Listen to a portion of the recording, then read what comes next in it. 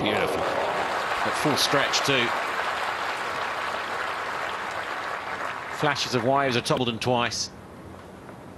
Well, look how low that ball stays with that slice backhand of his and then